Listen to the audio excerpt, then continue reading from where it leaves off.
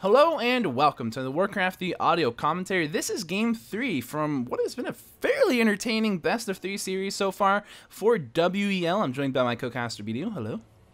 Hey, I have to sneeze. Okay, that's that's great. Uh, while you, I, I didn't think I would get that out because I had to sneeze. Right? It's just. I was Right. like, I thought I would sneeze during that, so I was like, I have to sneeze, but I didn't. So it just sounded awkward because I had to sneeze. Anyway, uh, Excellent. thank you for inviting me to cast this with you. always fun we to have do you. enough. We don't do it we, enough. We really don't, but it's hard. It's hard to collaborate and you know tight schedules, etc. But let's go ahead and introduce our players really quick. We do have HLA spawning in as the blue undead in the upper left part of the map. This map is actually Crystal Kingdoms, and we're gonna go ahead and see that Cash is gonna be spawning in as the yellow orc down in the bottom right. Now the last map was actually I've I've done forgot the name again. it was um. Well, there's it'll be in the description for that video anyway. It doesn't matter. So yeah, I can't Yeah. remember. It was that one map. It was that the- one map with the campaign and the stuff. Yeah. and This and and the, the the Furbolg tracker. Anyway, so HLA is actually going with the standard fiends build again. The late fiends, late hero, pretty much the the build where you want to go ahead and creep out. Try to get to level three if you can, and Cash is going with a pretty standard grunt build as well. Generally going to be seen as a two grunt tech. You know, creep up a little bit, maybe harass a little bit. He's got options. He can really pick whatever he wants right there. Yep. Uh, because of that burrow, like you said, he's probably gonna go for a two grunt tech. Pretty standard on both sides. Absolutely. Uh, yeah, this map is Crystal Kingdom. yes. We have a lot of weird creeps. We were debating before if the Shadow Strike is there for the arachnids. May it might be. I don't, it, It might be. it might not be. It's really annoying. I've, I've seen this map a few times, and I, I don't remember seeing it on there, but it's you know I've I've I haven't actually played it, so I, it's hard to remember just from the replays. yeah, and that peon is going to get some scouting. He's going to see that, okay, this is pretty standard Fiend's build. And that Fiend's going to come out, and I wonder if he's going to kill off that peon. He's definitely going to chase it, and uh, he might have to suicide it to creeps. Either way, Yeah, it's he's- a dead peon. Definitely a dead peon. And honestly, if if if HLA is able to pick that up, then he'll get 25 experience on that Death Knight when he spawns, which is always really good. And it looks like maybe both of these players haven't been familiar with this map either. Now these are maps that have been um anywhere but nice, nice chat. Um, now these maps have actually been out for for a while now, I believe, several months, if not you know over a year or so, um, in the Chinese scene. There's a lot of like Chinese uh, leagues that are just introducing more new maps.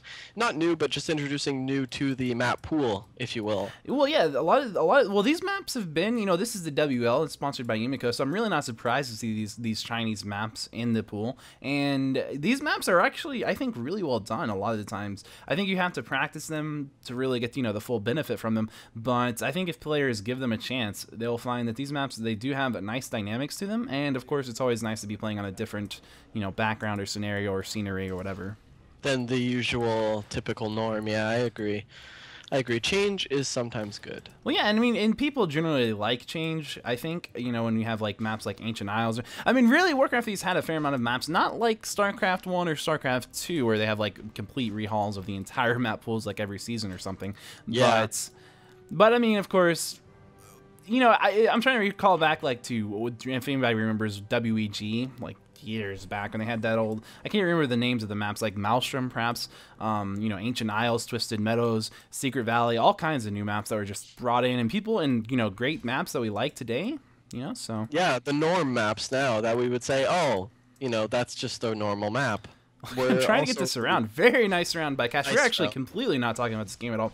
Um, but yeah, yeah, absolutely about the maps. And these are maps that I think we're going to end up seeing as standard and part of our map pools. I think they pretty much are by now, actually. So it's a little surprising. But then again, Yeah. HLA and Cash are not really the most active players. You know, HLA just coming back recently, uh, really. And from what I know, at least, and Cash obviously not playing a whole whole lot anyway. So Yep, and HLA is did pick up that level two off that grunt, which was the real first piece of action. Kashi coming in, stealing that one trapper, picking up. Nope, sorry, the DK did pick up the ring of protection, and now it's starting to pick up this game. I think both players are just realizing that this map is really long.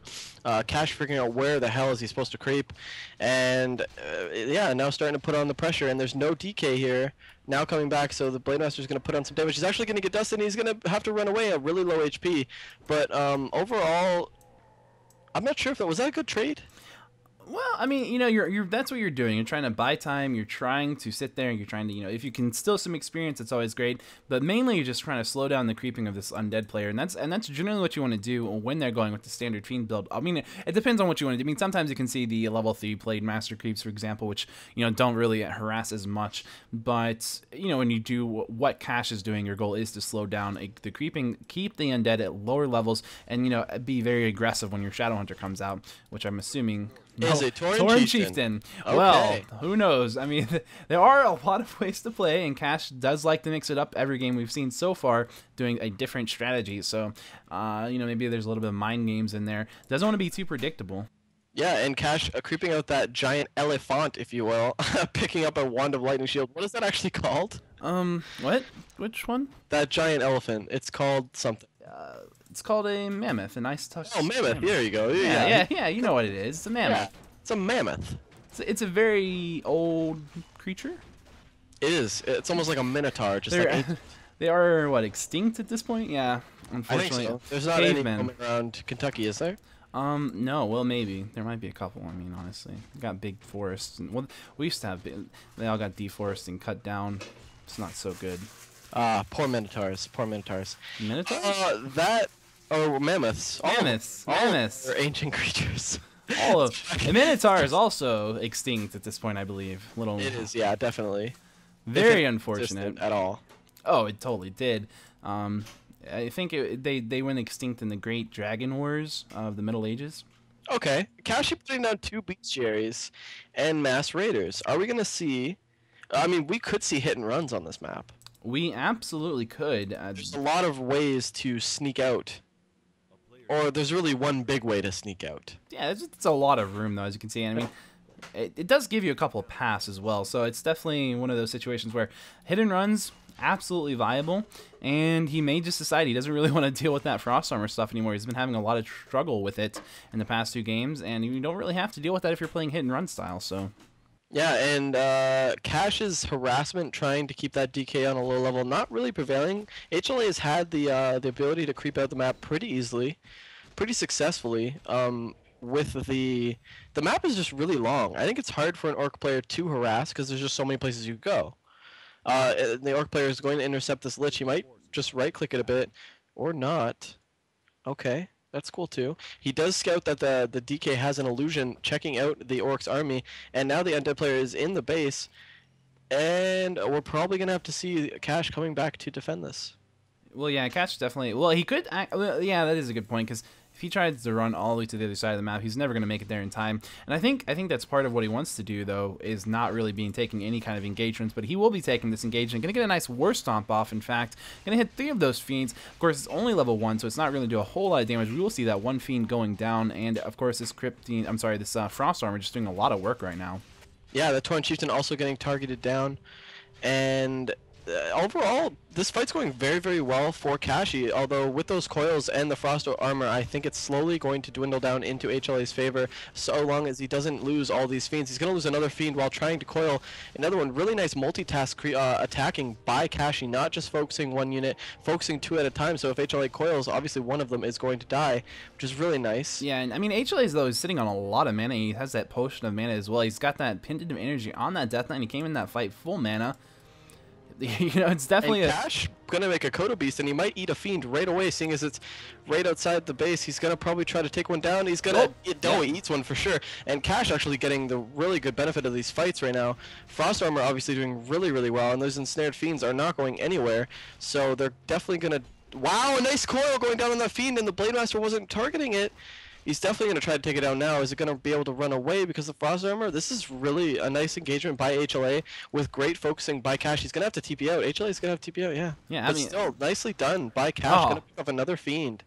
Phenomenal micro coming in from Cash, and he's got that was a nice lightning shield right there, almost kidding that Crypt Fiend that was going to inevitably end up sitting right beside that Lich when they did teleport out. Unfortunately, didn't quite grab it, so that's a little unfortunate for Cash, but a really good engagement nonetheless. And I'm kind of surprised Cash was able to win that fight and force back uh, the TP out of HLA because, you know, he was sitting there, again, versus a full mana Death Knight. Look how much mana the Death Knight currently still has. He did just pop that potion of mana, but still, he's got a lot of mana. You know, he's, he was having Yeah. a lot of coils thrown out. It was just really, really good focus from Cash, like you said, on the two different units at the same time. And that's what allowed him to win the fight. I mean, really good. Of course, that Kodo Beast also helped a lot. Really nice timing for HLA coming to Creepjack at this Goblin Merchant.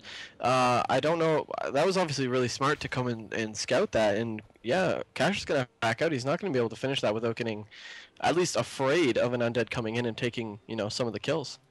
Yeah, absolutely. And he's, you know, it's it's also one of those things too. You don't want to be creeping when you get, you know, when you're fighting. It's just always a pain. Yeah, it's just unfortunate. You don't want to be caught in between a rock and a hard place. he an orb? Oh, it's here. Here comes that Oh, orb. never mind. It was because of the Kodo Beast had a fiend. That's how he knew where the, the army was. Oh yeah, yeah, that's a good point. I totally forgot. I was like, how did he know that he was over there? it's like uh, he saw the army. really noob casting on my part today, but that's okay. Kashi transitioning into wyverns. Yes, yeah, you generally want to see about four Wind Riders with this kind of army composition right here that Cash has.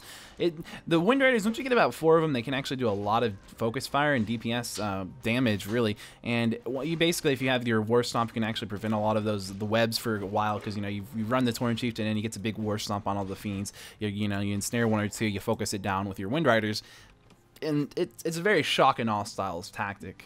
Yeah, does the endurance aura boost? And that is Shadow Strike eh, from the creep.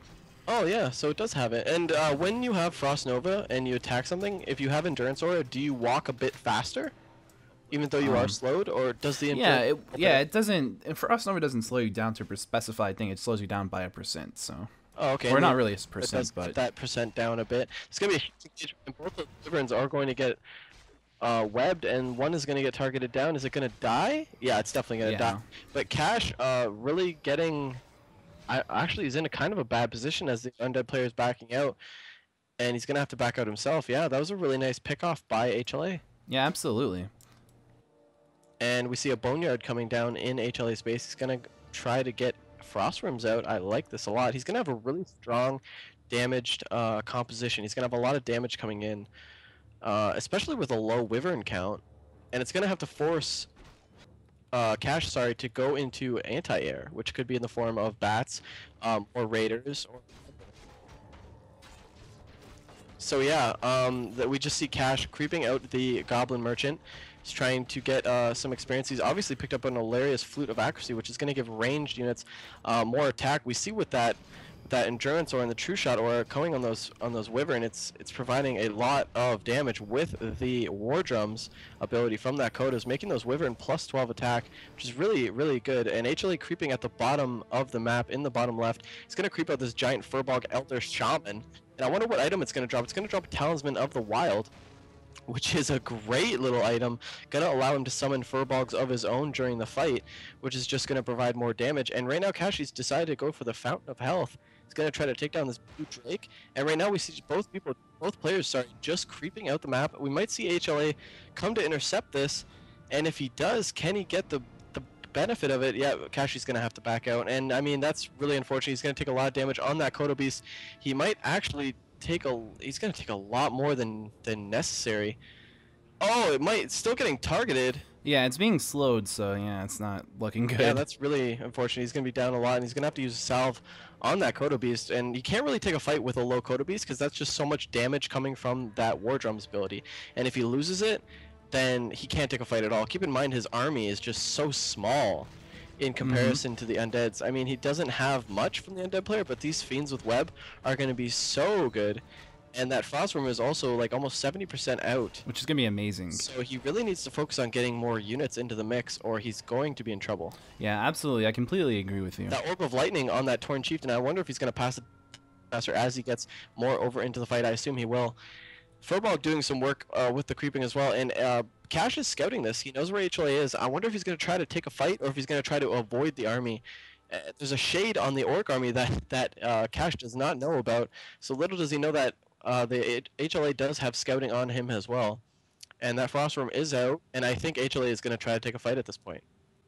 It's got a huge composition of, of of units that can do terrible damage to the orc, orc player. So I wonder Uh, if he's gonna try to take a fight, yeah, he's definitely gonna try to take a fight. He smells blood up here. He smells blood, and he's gonna try to go for it. With that shade on the army, he's gonna know where he is, and he's gonna pick him off. He's gonna come in here while the orc is creeping. Definitely gonna pick off that Kodo. Uh, Oh! wow! And he steals the creep. What a nice That move. was so nice. That was so nice. And now uh, he's got the orc player on the run. That Kodo is getting sniped by the second coil uh, used by the Death Knight. And now the Death Knight and the uh, Undead Army is just going to steal this creep. Yeah, just go for the mad experience. I really like it. He's going to throw down that third Furbolg, and our, the Orc player has no chance to take a fight here. Even Cash knows that. He's got to back out, and Cash is not looking good right now. The Orc uh, Undead player, not only does he have a really strong he has map control. He has 4-3 heroes. They're going to do a lot of nuking damage. He's got invuln pots on his DK. He's got a uh, health stone on that lich. So his heroes are looking pretty beefy. And with that nuke, yeah, he's going to have to try to focus down that Frost Wyrm for cash. But at the same time, he's losing so many units. That one Wyvern getting uh, targeted down. And right now, Cash is, is doing not bad. A big, big War Stomp coming down. Going to definitely take down that Fiend. And uh, Cash is going to have to rely on taking out that Frost Wyrm. Is he going to be able to? Can HLA get another coil on it? It would save him for a bit more. He gets a coil on it. And right now, HLA is taking down almost all of these units for Cash. Cash having to pull that invuln down. Finally takes down that Frost Wyrm. Another Grunt going down. But he, uh, Cash just doesn't have the damage output. Um, needed to even fight these two heroes. That Tauren Chieftain's getting targeted. He's got a push invulnerability. He's gonna have to pop it. Is he gonna be able to pop it? Is it on cooldown? Oh no, there he goes. He pops it definitely, and that Lich is gonna have to get targeted down. Uh, wow, the Blade Master falls down. Oh, Lol, good GG. game. Good game. Really nice fight by HLA. What a what and a game. that is the end of the best of three series. That was really really nice. Um, Amazing. that was really nice game. HLA definitely taking advantage of map control. Uh, really nice micros and fights, despite almost getting steamrolled early game against Cash. In what seemed to give Cash an advantage, or at least hold, but I guess when you pump out uh, that, I guess that army composition for the orc just didn't work out. Well, it almost it almost did, but you know, HLA just outplayed him, and he had better creeping throughout the game. He had better map control. He did he did a lot better with a lot of different little things. When you think about all of that together, it ends up having a really large impact on the game in the way that it was actually played out at the end. Yeah. Yeah, absolutely. I mean, you know, And once that undead player has a frost frostworm, the orc player has to take it down. So all that focus is going to a frost wyrm. Meanwhile, the rest of the army, with those furbolgs, are just taking out your units one by one by one. And even by the time he he killed that frost wyrm, he had no more units to actually take down the army itself. yeah, that's that. That's So that's a bit of it. But yeah, that's Yeah. the best of three series. That was, I believe, in the round of eight. So more games uh, from that tournament. We might catch some more. We might not. But overall, really nice games coming out of that tournament, and I really respect uh, the people, the organizers that worked uh, to getting that happening because I love more games, man Yeah, big shout out to those guys. especially involvement with uh, like a Chinese league, for example, involving foreigners to play. I think it's great. Foreigners being obviously the Europeans, the the Americans, and the Koreans. Uh, it's really nice to get that involvement. It's yeah, it's always nice to see like lots of people because there's it's really great to have all the different I guess little, little mini scenes or the sections or whatever that you know of Warcraft you come together and be able to play in the same tournament. Especially when you think about how it, they really are kind of segregated, but that's you know that's I guess that's for a different story. Um, I, you know that's pretty much all we have for today, guys. I hope you guys enjoyed the cast. And do you have any final words, Beatty, before we actually go ahead and leave? Uh, yeah, you can catch me uh, casting with Pure every Saturday. We try to do the Zotac Cup as much as we uh, possibly can. There are usually updates on this YouTube channel, um, but if not, you can always check on Saturdays, basically all day. You can go to uh, twitch.tv slash purebee. That is the channel we usually cast at. I'm usually casting during the day randomly at twitch.tv slash TV. So those will be in the description as well. Uh, you can catch me doing that. I'm going to try to get more double uh, dual commentaries with Pierre. I like doing it. Don't do it enough. And uh, as far as I'm concerned, people like to see it. So if you guys like this, give us comments. I love comments and feedback. Um, and that's that. So that's that's my take. All right, well, thanks for watching, everyone, and guess what? We'll see you guys next time.